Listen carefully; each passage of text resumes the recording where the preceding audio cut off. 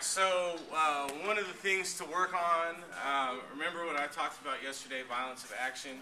Um, when it comes to your violence of action, how I like to think of it, you know how people say first impressions are everything?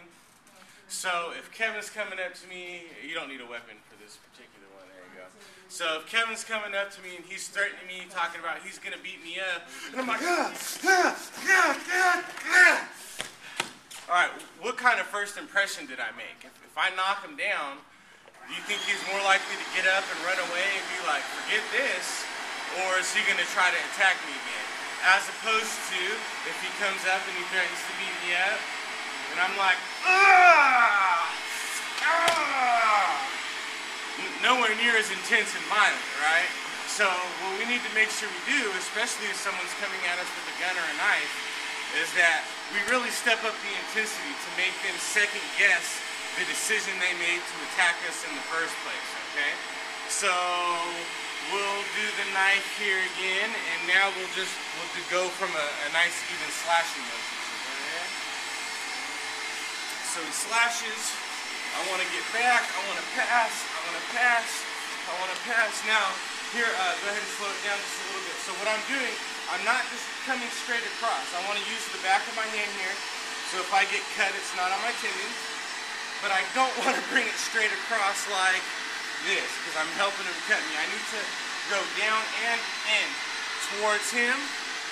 Or if he catches me, I need to just get out of the way and back, okay? And then he slashes, I can get back, and then I can come in and remember what we said about effective range of the weapon. I control, strike to the back of the head, turn this in here, elbow strike, and get out of there.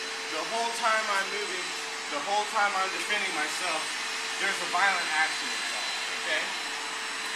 So what we're gonna do is we're just gonna slash, I'm gonna get back, I'm gonna come in, bring this down, bring this down, come in, I'm on him here, I wanna control the knife, stabs down, back up and get out of there. Now, the other thing to keep in mind when stabbing someone, mm. if there's no blood groove on the knife, you're not going to be able to stab and pull it out. What will happen in real life, no blood groove that is, is I'm going to stab and it's going to get stuck because it's going to form suction, okay? So what I need to do to get the knife out is I actually have to twist and cut out. So when we stab, we want to get used to doing motions like this instead of motions like this because without that blood groove, that's not going to cut it. You're going to end up sticking them here and then trying to pull the knife out of their body. So, and it's also way more damage if you start cutting them open that way. It's going to be harder for the wound to heal. So, one more time with the knife. We're either going to get out of the way, cut them in, trap here, control the wrist. Remember, we come around this here, bring this back in, strip, cut it out here, or we're gonna cover up here with the back of our hands, get this in here. Now I can come in this way. I still want to control that here and back up. Now the other thing to remember is that when we grab the knife, we might have to grab at the blade. We don't want to do this because if they pull, it's going to slice our fingers up pretty bad. We want to grab it like this and it's not the best position to hold the knife, but if I get the knife, I can still apply a healthy amount of pressure and not necessarily drop the knife. So I can cut like that, and it also allows me here to just come and switch it to my other hand.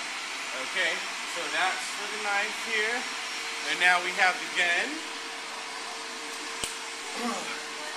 Now we're gonna have the person pointing it more like at her chest or stomach or something like that. So I'm here, St. Principle's gonna apply, talk to him, please, sir, you know, I gotta do whatever tonight. It's my turn to do the dishes, I gotta get home.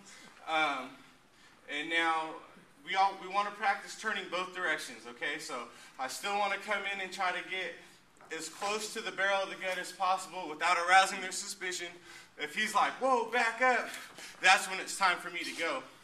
So I'm going to come in, sir, please. I got stuff to do. So I'm going to practice turning this way.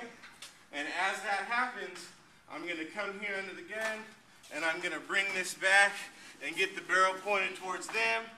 And now I'm sighted in on him. I better not miss him from this close. Squeeze the trigger. That helps me figure out if the gun's loaded or not. If it doesn't fire, I can come in, hit, hit, hit, take off. If the gun fires, I'll pull the trigger again just to make sure, and then I'll take off the other direction. And then this way, I turn here, and I want to bring this in. Anytime I redirect gun and get it away, I don't want it out here, because if he fights for it or pulls his arm back, I'm not very strong out here. If I'm in here and he goes to fight for it, go ahead. It's a lot easier for me to hang on to it here. Okay, and strip the weapon. Here I am again. Pop, pop. Oh, it didn't go off. Get him, get him down, and go. so, here it comes in. I want to get these as close to the gun level as I can. Beg and plead with the uh, person that's attacking us. Turn, bring the gun in tight. Bring this down here. Step back. Fire. Okay, the gun didn't go off. Now I come in, hit, hit, hit. Or I have the gun, I fire, bam, I shoot him, bam, shoot him again just to make sure and then take off the other direction.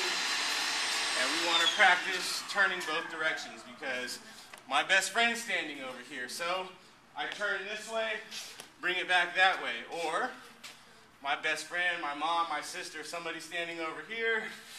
I need to turn it this way, same principle applies. Bring it in close, turn, knee strike if I have to. Pop, pop, okay, the gun went off, or it didn't go off. I come in, hit, hit, hit, take off and go.